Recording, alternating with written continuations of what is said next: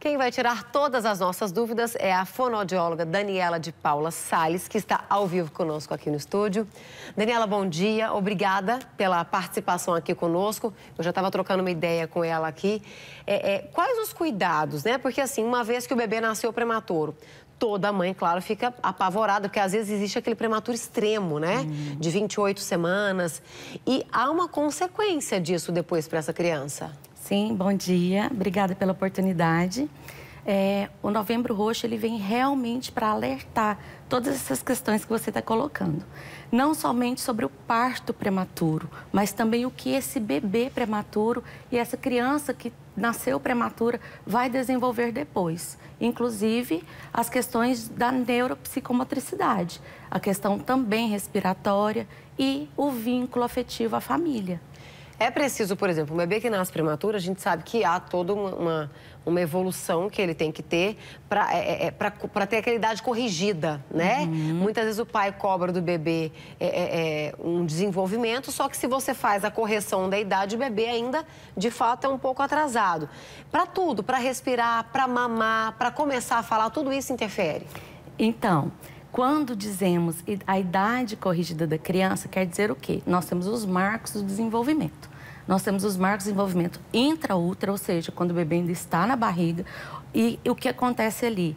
Se ele nasce antes, ele perdeu ou ele não teve a chance de é, apresentar todo aquele desenvolvimento esperado. Então, ele nasce, ele tem os cuidados, alguns se desenvolvem da melhor forma possível. Outros precisam ficar até em unidade de terapia intensiva, que são as UTIs.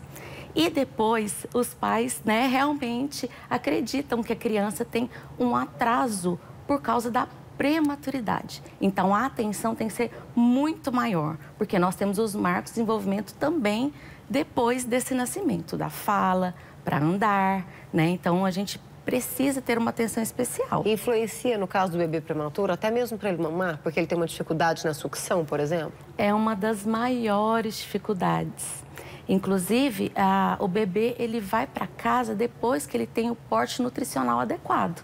E para isso ele precisa mamar e a, os, as mães não conseguem, no primeiro momento, se for um bebê principalmente prematuro extremo, é, ficar na, junto com esse bebê. Se ele está na UTI ou se ele está no hospital, ele vai ter um, uma nutrição, seja ela por sonda, né? Então, depois, como que ele vai aprender a sugar? Precisa do especialista para ajudar, precisa do vínculo familiar, precisa da mãe preparada, então, ele precisa, sim, aprender essas funções que para nós parece ser tão simples. Simples, né? A gente não imagina isso, por exemplo. Às vezes um bebê, mesmo que não nasce prematuro, mas que ele tem qualquer dificuldade nesse sentido, na sucção, no mamar, na respiração. Por isso a importância de ter sempre um profissional, até mesmo para fazer aqueles testes que a gente sabe, né? De quando nasce um recém-nascido, porque é aí que a gente vai identificar qualquer dificuldade que essa criança tenha, né? Com certeza. É, é uma equipe equipe, uma equipe que tem que estar preparada. O neonatologista na sala de parto, depois o pediatra e também, né, fisioterapia, fonoaudiologia, as enfermeiras, as técnicas. E então, se essa equipe está bem preparada, os exames corretos e muitas vezes, né, nós temos que fazer várias repetições dos exames. Agora, Daniela, outra coisa que eu queria te perguntar, porque assim, a gente percebe, inclusive a, a, a nossa editora estava falando, e é algo muito comum nas crianças, de trocar o R pelo S, pelo L, trocar a palavra, às vezes aquela linguinha presa. Tem alguma, fa... até uma determinada idade, que você fala, não, vou deixar rolar até lá, e depois prestar atenção ou não, sempre de olho? O ideal sempre de olho, principalmente no caso que você disse, também a questão da aprendizagem.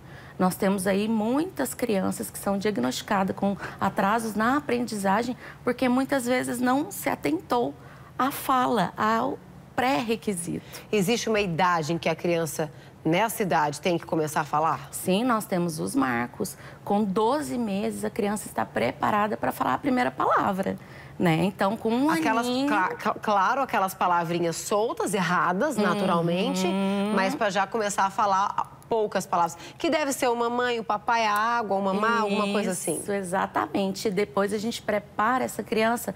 É, nós, pais, né, também, eu, eu, também sou mãe. Então, nós preparamos os nossos filhos para falar, é, fazer os pedidos, né? Dar, quero, então, vem aí depois as frases. Então, tem os marcos de desenvolvimento. Aquela criança que às vezes não está muito estimulada e, e, a criança aponta e o pai dá, isso aí já é um problema, né? Porque é um facilitador para não evoluir a criança ali, né? Inclusive, com a prematuridade, tem muita super proteção. Exato. E a entrega facilmente, né? Falando de fala. Então, quando nós dizemos sobre linguagem e fala, temos sim os facilitadores e nós temos que nos atentar. Nem sempre é, nós podemos facilitar essa linguagem, se a gente pode também dar opções para os nossos filhos. É porque a gente quer proteger, quer fazer tudo muito fácil, né? Só que dessa forma, de uma, de uma, de uma certa maneira, a gente vai estar, na verdade, prejudicando as crianças. Uhum. É aquela coisa de dificultar um pouco, mas para você poder desenvolver o seu filho. Preparar para o mundo já, né? Preparar que nem tudo é de mão dada. Obrigada pela participação conosco aqui ao vivo. Eu que agradeço. Esse foi o nosso quadro Pergunte ao Especialista de hoje.